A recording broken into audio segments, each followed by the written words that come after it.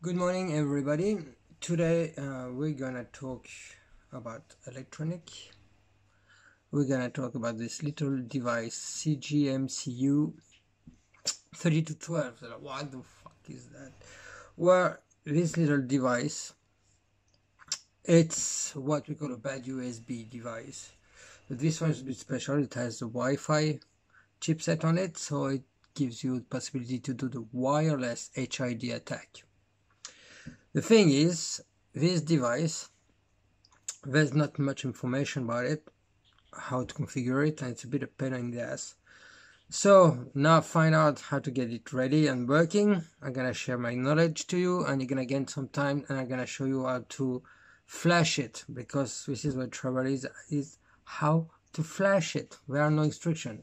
So this device, I got it out of Banggood. As you can see, it's 23 bucks and it's replacing uh, 3212 binded on that Mega 32U4 before you had to kind of uh, wire everything together get working and now it's a all-in-one package and there's also micro SD on which you can put the payload.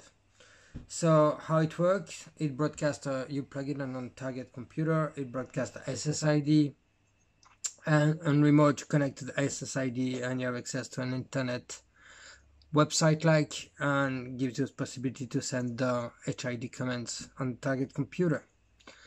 So first thing, this is a Leonardo board um, for people knowing uh, Arduino. So the first thing you do is you plug it and there's an initial there's an initial package I already started to put here um, to upload on the board before flash the bootloader. So make sure that you checked so it's in French but make sure you checked Arduino Leonardo and the port matching um, the board the port on your computer. Oh see I'm stupid fuck. Okay up up up port and now we'll start. This is why it's important. Okay this is done. Now the second part. On this board you see here up there are two little dots. When in order to flash um, the bootloader and the chipset we need to enter in bootloader mode but there are no buttons for that. The button here is just reset button to start the down the board once already running. So first best thing to do is to use a wire and to solder it and in order to make what we call a shunt. Now you will see on internet there are two types there are two kind of screw. There are some people using ESP tools and Python uh, they tell you you have to keep the shunt on till it says trying to connect and then you release it before it's actually connecting. And I tried on Windows I tried on Linux and wasn't working.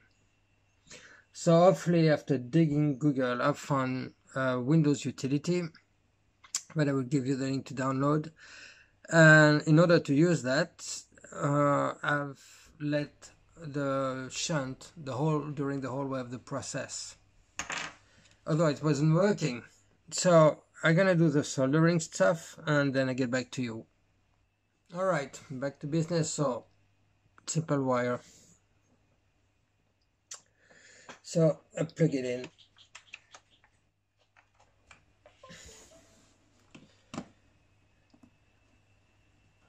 And we're gonna flash a binary you will get the link also because project you know the USB um, ducky rubber ducky and this is called the Wi-Fi ducky because it's our Wi-Fi. So you have to use this package 4 megabit uh, bin okay? It's a it's a pre-compiled uh, source code for the Arduino. So it's all plugged and it's in bootloader mode. So this is how we gonna be doing it. So this is the little tool ESP8266 flash exit there's no install required you just uh, launch it. So we're on port 14 one thing you need to, to figure out in your device manager make sure that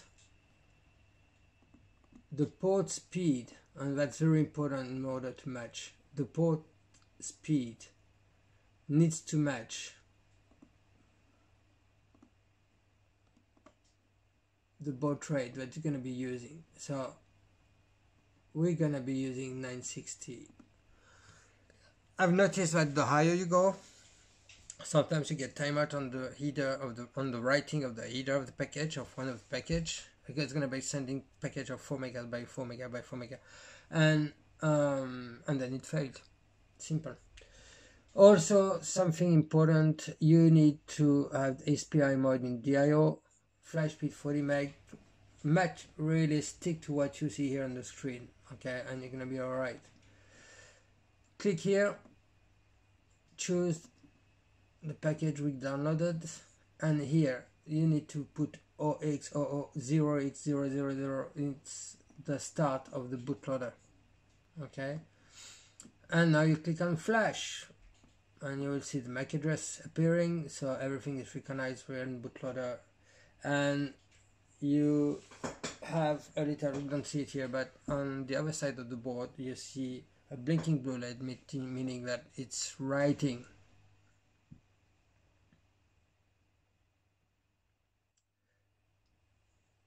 So no, I'm not gonna play uh, like waiting music like no no no no no no no no no do do do do be do do bim bim do do do bim bim do bum bum bum do do do bum bum bum bum bum bum bum bum bum bum bum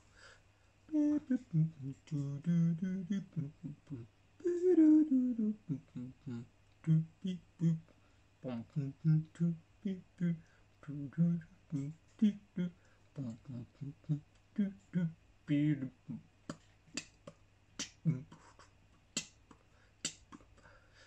it's almost done. Yahoo! Successful! So close it. You unplug your USB. And first thing you need to do is to remove its wires. You know what the saddest thing is in this process? You don't need to use hard glue. And that's sad. Because hard glue, it's like fat. It's life. You know? Two important things in life is the cheese fondue and the hot glue. Okay, so now we're back to business. And we can plug it back in ready to start. And you see you have the Wi-Fi duck and the password is duck duck. And then I'm not gonna tell you more because it's your turn to work.